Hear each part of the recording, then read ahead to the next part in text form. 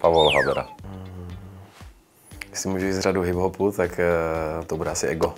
Líbí se mi písničky skupiny Tým Pavel Habera. Uh, Palo Habera. Tak Pavel Habera určitě, pak Elán. A myslím, že tam mají dobré, dobré skupiny. Uh, Rytmus. Dana Rolin se mi líbí.